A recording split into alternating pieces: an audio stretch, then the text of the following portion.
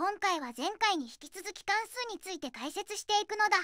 このショート動画では関数 R は集合 A から集合 B とするのだ。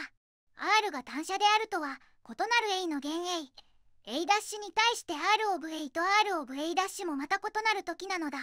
次に R が前者であるとは任意の B の弦 B に対して RA の弦 A が存在して R オブ A が B となる時なのだ。集合 A の部分集合 C に対して R の C による制限写像は C×B との共通部分のことであるのだ。またこの制限写像をこのように表記するのだ。